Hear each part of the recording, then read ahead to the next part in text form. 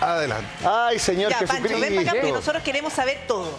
Ahora me saber yo. Quédate ahí, Todo po. de todo. ¿Dónde? ¿Dónde queráis? Sí, porque ¿por este qué? siempre, sea. siempre se sienta el Pancho. Bueno, esto pasa en el Festival de Viña, que te dan N instrucciones y al final uno sabe qué hacer. Oye, ahora tenés- en algún minuto tenéis que decirle que es lo más difícil. pues, Soltémonos nomás. Sí, sí. No. Oye, ¿cómo te enteraste de esto?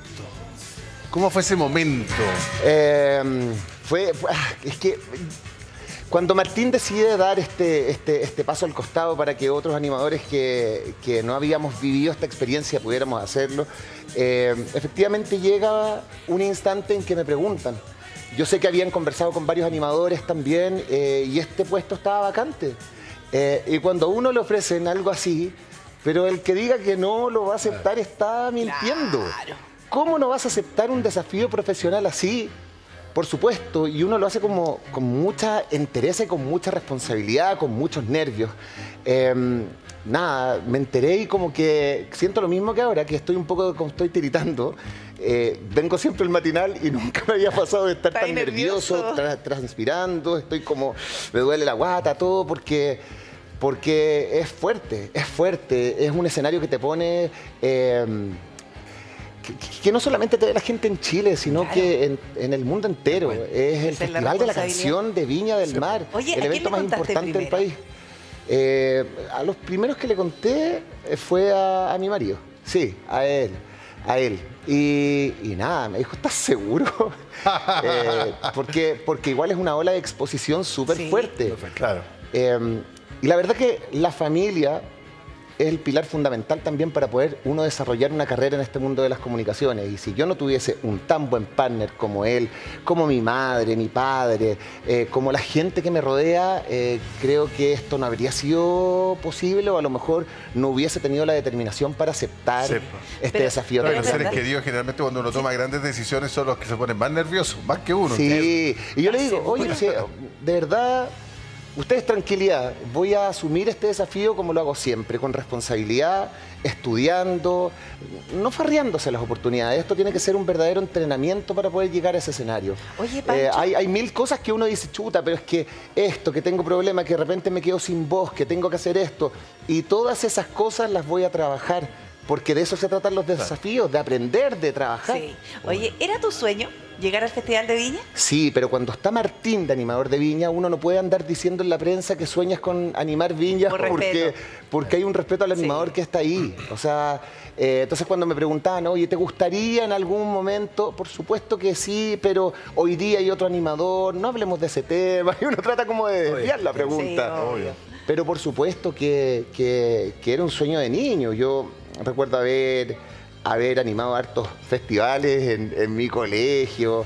eh, y después cuando ya empecé a animar mm, festivales en distintas ciudades y encontrarme con públicos masivos, fue cuando partí lugares que hablan. Fíjate que en Alfombra Roja no me pasó. Ahí no me llamaban para ni un evento.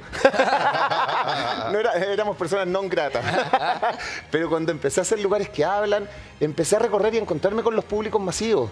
El Festival del Tomate, de la Sandía, el Festival de la Vendimia. Muchos, muchos festivales. siempre- El Festival de las Condes que es televisado, pero... Al final- pero Ahí estamos viendo el último. La Pero gente, la gente a lo mejor muchas veces no sabe, pero uno entiende que uno tiene que entender que esto es como el fútbol. O sea, para llegar a, a la selección o para llegar a jugar en el Real Madrid, que en este caso puede ser el Festival de Viña, Sí. primero tenéis que partir por divisiones inferiores, Tal cual. jugar en clubes de provincia, después llegar a uno grande y después saltar, digamos, al club que uno quiere llegar, digamos. Es un parangón deportivo, digamos, pero, Pero es así, pero es así, lo, lo que dice Pancho es tan real porque a los dos nos ha pasado eso, que partimos eh, haciendo pequeñas cositas en la tele o pequeñas animaciones, en cosas muy, muy, muy chiquititas. Eh, pero Pancho hoy día llega después de haber animado muchos festivales, haciendo un recorrido, o sea, hay que llegar, entre comillas, maduro eh, a, a ese escenario porque la responsabilidad, como tú dices, Pancho, es muy grande, pero también para poder disfrutarlo y tener eh, herramientas, porque en Viña nada es predecible. O sea, todo puede pasar. Y además porque uno está al servicio de- del público, más que, de, más que de uno mismo, digamos, porque no corresponde eso. Entonces, yo creo que tú llegas en un muy buen momento. eh, además, te has sacado la cresta, has trabajado muy seriamente. eh, la gente te quiere mucho. Eh, y yo sé que, que va a ser una experiencia que va a guardar en el corazón para toda la vida, entonces es muy merecido. Sí, eh, pensaba en ese festival que me tocó ser jurado. eh, Ah, claro, lo mismo. El, el estallido Claro. social y, y hay que tener los pantalones bien amarrados para poder controlarte en una situación así, en un escenario donde yo me acuerdo que nos tenían que llevar con la policía, nos tenían que llevar en unos autos blindados especiales. Fue muy fuerte. Yo miraba a Martín y decía, wow. Ahí es cuando uno dice, esto es oficio. Y, y nada, mi admiración, mi respeto y mi ejemplo también. Porque uno mira eh, este último festival, eh, miraba también la conexión con los distintos públicos y uno tiene que ser súper versátil. Uno tiene que estudiar de música, uno tiene que saber cuál es la carrera de los artistas. y que además- No, yo ahora que estaba de jurado tomaba nota, pero como loco. Pero te veía, te veía. Un paso a la derecha. Te veía, No, te veía tomando nota y te veía tomando piscola también. Ah, no era bebida. Oye, espérate, que además parte de los momentos entretenidos que condimentan el Festival de Viña es la entrega de los premios cuando se Sí. genera también hay algunas complicaciones con los artistas. ¿Hay algo, Pancho Saavedra, que a ti te ponga Puta. nervioso o que te asuste en el Festival de Viña del Mar? No lo digas, Pancho, porque eso va a ser tu talón de Aquiles después, así que no lo digas. ¿Cachai? Qué buen amigo, qué buen No, pero siempre he admirado mucho eh, Ese cómo, lo tienen que hacer ellos también en, en- en- en los momentos del humor, cuando la cosa se pone álgida, cuando, cuando hay que. Cuando a alguien lo están pifiando, cuando a, a alguien lo están abuchando, cuando le están diciendo chao.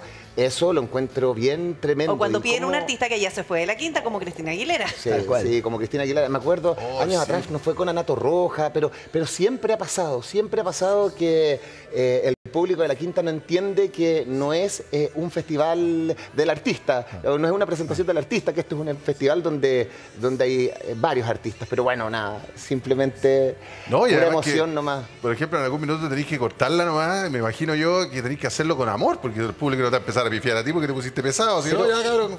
Pero para, eso, pero para eso yo también creo que hay un, un super equipo que respalda Sí, el claro. trabajo de los animadores, están los directores, los productores, la gente que te va dando instrucciones y que me imagino que te van aconsejando y van queriendo lo mejor para el festival. Digo, para el animador, pero para el festival.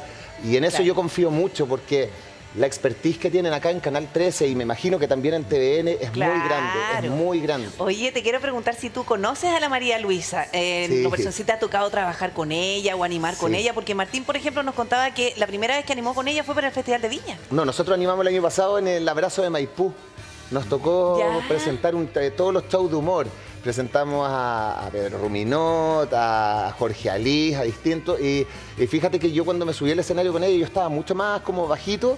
Y ahí dije, ese es el training que tiene la María Luisa del Festival de Viña. Impresionante. Eh, nos llevamos muy bien. eh, nos tenemos mucho cariño, mucho respeto y, y creo que aquí uno no tiene que trabajar pensando en uno. Sí. Yo creo que uno tiene que trabajar en dupla y uno tiene que siempre querer que tu compañera o tu compañero brillen. Entonces, Son- los dos son complementos, Bueno, no es son lo que les pasa a competencias. ustedes. Sí, Sí, po, po. es lo mismo que ustedes usted. son complementos y tú, Repe, haces que la PRI brille y la PRI hace que Repe brille. Sí. Y además, Tú no serías nada sin la PRI. Básicamente.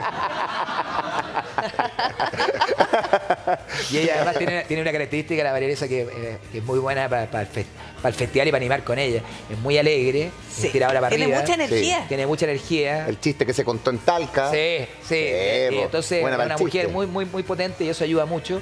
Eh, y lo otro es que tiene que haber confianza absoluta. Y eso Claro. también es muy importante porque eh, hay cosas, conversaciones que solamente, Sí. bueno, ustedes tienen conversaciones íntimas que nadie del equipo sabe. Sí. Eh, ¿Está bien lo que estoy diciendo? Sí, no? sí, es verdad. No, es que lo- sería distinto que dijera conversaciones íntimas, 3, 4 de la mañana. bueno, cinco, seis. No, pero con- son pesados, no, conversaciones. Ya, pero sí, una broma. Conversaciones íntimas, Sí, me refiero a que hay cosas que ustedes se ponen de acuerdo que solamente ustedes saben. Y lo mismo pasa en los conductores Sí. de- del festival. pues, O sea, hay, hay cosas que solamente se manejan ahí entre los dos. Ah, ya, entonces quiero preguntar esto. Lo que se pueda contar. ¿Ya hablaste con la María Luisa? Eh, eh, sí. eh, Ah, pesado, pero cuéntalo. que Sí, no, no, nos llamamos por teléfono ahora hace algún rato, conversamos y, y fue solamente, como venía el matinal, como todo esto fue tan rápido, Sí. conversé con la María Luisa hace un ratito y le dije, bueno, juntémonos, comamos, tomémonos un café eso. rápidamente, pongámonos a trabajar como dupla, porque el trabajo que uno puede hacer, o sea, yo voy a inmediatamente, vamos estudiando inglés, vamos con el otorrino laringólogo para no ponerme a gritar, que es una de las características que uno también se tiene que evaluar y decir, a ver, ¿en qué fallo? ¿En qué estoy mejor? Y uno tiene que ir trabajando sus debilidades, por supuesto, y ir dándose cuenta de cuáles son tus fortalezas también. Pero hoy día anoté esta frase porque, mira que me estás llamando Sergio Lago. Ahora- Un abrazo, Sergio, Sergio. estamos al aire. Pucha, pero es que justo corté Contéstale. donde iba a ver. Pero llámalo.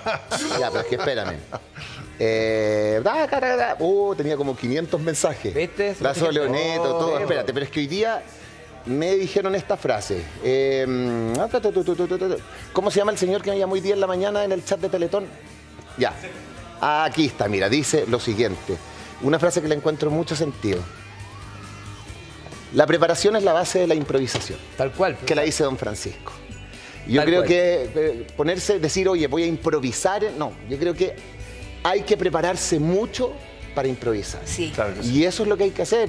Eh, quiero conversar con profesionales que me ayuden. Esto para mí va a ser un verdadero entrenamiento. Es verdad. Un entrenamiento para poder estar seguro y tranquilo esas Sí. noches de Festival de Viña. Sí, es verdad. Oye, eh, de, de hecho nosotros también, a pesar que veníamos trabajando tantos años, nos conocemos tanto, nosotros ensayamos mucho porque la preparación es la base de la improvisación y nos ayudó mucho para partir este programa. Oye, si usted, usted, yo que estoy allá de Viña, pero yo los veo a usted en la mañana y realmente, y esto no es así eh, para chuparle las- patas, como se dice, sino realmente es muy agradable informarse con ustedes. Sí. Lo hacen de una forma tan natural, además los dos súper inform- súper informados, súper No, profesionales. Martín, Pero en serio, gracias. en serio, se Lo respira hacemos- y se de verdad res- lo hacemos con gusto. y se respira buena onda, se respira buena Sí. energía en, en- en este equipo. Sí, nos Se necesitaba la energía de ustedes, Con verdad. respeto, Muchísimas siempre, gracias. siempre con mucho respeto. Oye, te quiero preguntar, ¿qué te dijo tu mamá? ¿Estás seguro? ¿No ¿Estáis seguros? No, y a mí, no no, y mi mamá me dice, a mí no me empezar a vaya, no, no, no, por favor, no hagas que yo vaya a sentarme a la Quinta Vergara porque le da, le, se aterra. Ya, ya. Se aterra, si de hecho le digo, mamá, te tengo la entrada para la fiesta de la vendimia en Curicó, que son miles y miles de personas, y también, ah, no, no, no, no me gusta porque me pongo nervioso. Como que yo tengo la sensación que los papás sienten por uno Sí, y se conectan demasiado por uno. Pero dile Entonces- que no es problema, se sienta al lado mío si yo voy de jurado nuevo. Me estoy postulando de nuevo. Lo Muy hace bien. Muy bien. Lo pasó chancho. Sí, pues, ¿le tocará a la Priscila Nadie este sabe año? para ¿no? quién ¿no? trabaja. Sí, pues. Sí, yo pensaba que yo iba derechito a ser jurado y se me mete por los palos Palo. y termina siendo re. Sí, Pero es- sí. Oye, pero lo bonito de presentarlos en el Festival de las Condes, ¿ah? ¿se acuerdan? En las Condes la gente los aplaudió mucho, así Sí, que sí, la sí. gente es muy cariñosa con no, ustedes. oiga, y eso me sentí más, más famosa que Pailita. Oye, espérate, yo tengo, una, yo tengo una pregunta que seguramente se deben estar haciendo todos, todos, todos, todos los que son fan de lo que haces tú con Jorge Sabana. ¡Oh, yo quiero saber eso! Yo quiero saber eso. ¿Quién le habrá dicho? Y ahí, y más decía, ahí podríamos hacer incluso la imitación que uno podría imaginar lo que Sí, sí, sí, sí. Hablaste y cuál fue la reacción de Jorge Zabaleta frente a tu nuevo desafío como el próximo animador del Festival de la Canción de Viña del Mar 2024. Pero no me cuentes ahora, porque nos tenemos que ir a un corte. Jorge Zabaleta a su Francisco Javier cuando le contó voy a ser el animador de Viña. No, cuando lo llamé por teléfono y le digo, Jorge, tengo algo que decirte, ya no le pongáis color, así, porque tú caché. ya no le pongáis tanto color. Le dije, lo que pasa es que me ofrecieron algo que tengo que responder. eh, y le digo, animar el Festival de Viña. ¿Y quería hacerlo, guarón? Yo le dije, "Weón, pero soy animador, es un sueño. Y me dice, dale.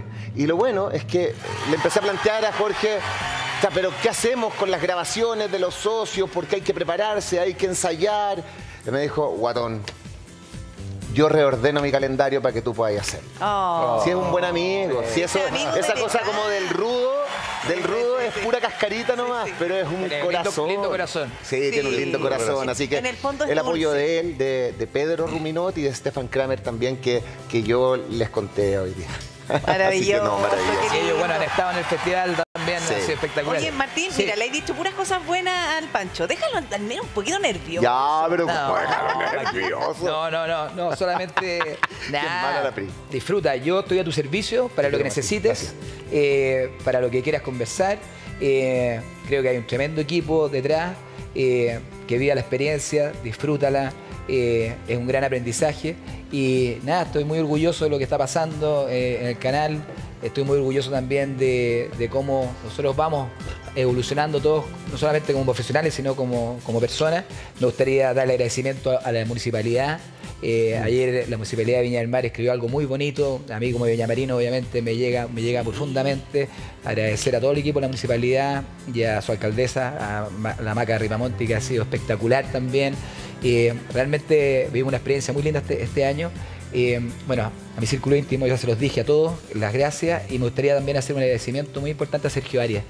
Sergio Arias eh, eh, ha estado creo como en 16 festivales seguidos. Increíble. Es un eh, gran, eh, no solamente un gran diseñador y, y- y un, eh, una gran persona, sino también un puntal muy importante, por lo menos para, los animadores, Obvio. porque ah, me beneficia de productor.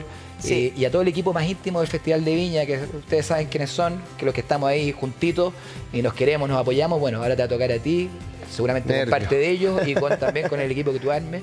Eh, y nada, pues dar las gracias, dar las gracias. Yo me tengo que ir a grabar el de tú a tú ahora. El domingo está Paloma San Basilio. Sí, qué Oye, maravilla. Una artista, artista festivalera Sí, espectacular. Sí. Si no se lo pierdan porque es muy emocionante y a muchas generaciones les va a llegar.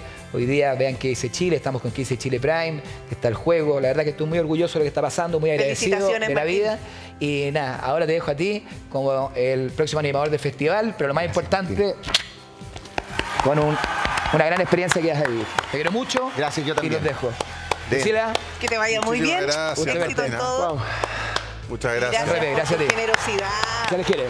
Gracias. Vamos a estar todos pues. apoyando a Pancho Saavedra. Un beso a todos. Gracias, festival. público, por estos tres años que me dieron de Festival de Viña. Gracias a ustedes, a toda la gente que está en las casas. Los quiero mucho. Gracias, Martín. Cuídate mucho. Vamos. Oye, Pancho. Hasta con agarrada de potos me fui. Sí, yo te voy a decir algo. Que hoy día. Que, viene, viene. Se me quedó el poto. Ah, no. se molesta solo. Pancho, hoy